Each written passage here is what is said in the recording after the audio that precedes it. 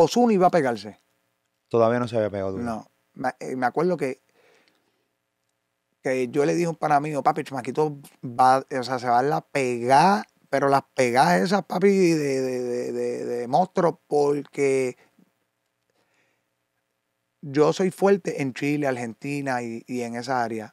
Y me llegó de allá que él había hecho la ronda de allá y había roto con toda la fuerza del mundo. So, yo sentí el feedback que cuando él se fuera y diera dos palos más y virara, ya viraba a élite hasta lo último.